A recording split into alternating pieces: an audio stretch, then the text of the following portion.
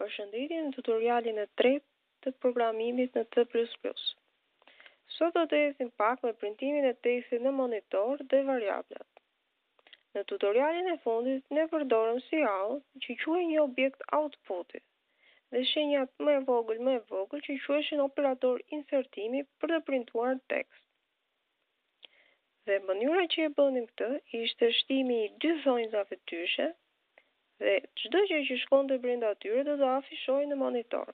Le të ekzekutojmë këtë dhe të shikojmë afishimin e tekstit. Çfarë ndodh në qoftë se shtojmë një cout tjetër? Kujdes, mos harroni pikëpresjet në fund të çdo instruksioni. Ok, ju do të mendoni në një rjesht do të jetë një njëri tekst. Dhe në rjeshtin tjetër do të jetë teksti tjetër. Le ta shikojmë çfarë ndodh. Shikojmë se që të dyja tekstet atëherë Hello Albania janë që të dyja në të njëjtin rjesht. Pse ndodh kjo? Arsyeja Pse ndodh është sepse kur përdorim cout, thjesht merren të gjithë karakteret dhe printohen në një rrjesht. Pra kur mbaron ky afishim, vazhdon afishimi i radhës.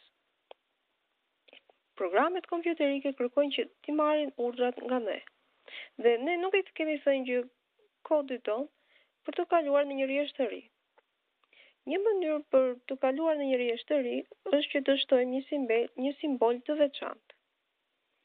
Dhe ky simbol ne mund ta shtojmë duke shtuar dy thonjza, dy shenja më e vogël, më e vogël dhe më pastaj end line. Atëherë japim build and run dhe ja ku doli hello në një rjesht dhe Albania në rjeshtin tjetër. Le të tregojmë një mënyrë edhe më të shpejtë edhe më të lehtë se si mund të bëhet kalimi në një rrjesht të ri. Atëherë, shkruajmë brenda thonjzave backslash n. Backslash quhet kjo vija e pjerrët dhe backslash n qëndron e gjitha për new line. Është e njëjta gjë që jep edhe end line. Në qoftë se ne duam që të bëjmë dy rrjeshta bosh, atëherë shkruajmë backslash n, backslash n. Në qoftë se ne duam që të, në vënd të rrjeshtit të ri duam një, një hapësirë boshe, atëherë është backslash t, dhe t-ja qëndron për një tab. Gjithashtu mund të shkruajmë në një cout të vetëm, disa backslash n dhe disa backslash t, në varësi të kodit që duam të afishojmë. Për shembull, ne duam të afishojmë një kod, sot është data slash të, e cila do të na japi një hapësirë boshe datën e sotme. Slash në dita slash të sërish e hënë. Atëherë le të shikojmë se çfarë nxjerr ky kodi. Dhe ja ku është rezultati. Një hapësirë boshe, një rresht bosh dhe sërish një hapësirë boshe. Le të kalojmë tashi tek variablat.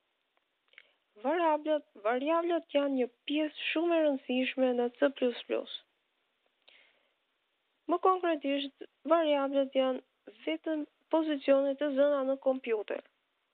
Shumë, ne do të shikojmë disa variabla. X-i baraz me shtatë, X-i është variabli, dhe më pas do të kërkojmë të bëjmë mbledhjen pesë plus X, ku pas variablit X qëndron numri shtatë. Le të shikojmë konkretisht se si do krijojmë variablat në C++. Në fillim shkruhet tipi, int, e cila qëndron për integer, pra numra të plotë. Më pas shkruhet emri i variablit, për shembull A, shenja e barazimit dhe vlera, baraz pesë. Pra, kemi një variabël A dhe C++-i e di që ai është i tipit integer. Le ta printojmë cout A. Dhe afishohet vlera e variablit A e cila është 5. Le të përpiqemi të bëjmë një një veprim aritmetik të thjeshtë në mënyrë që të kuptojmë më shumë rreth variablave. Marrim dy variabla a dhe b të tipit integer, ku a-s i japim vlerën tetë dhe b-s i japim vlerën 10. Do kërkojmë një variabël tjetër, shumë, e cila do të mbledhi vlerat e këtyre dy variablave, a plus b-ja. Le ta afishojmë shumën dhe ja ku doli vlera e shumës.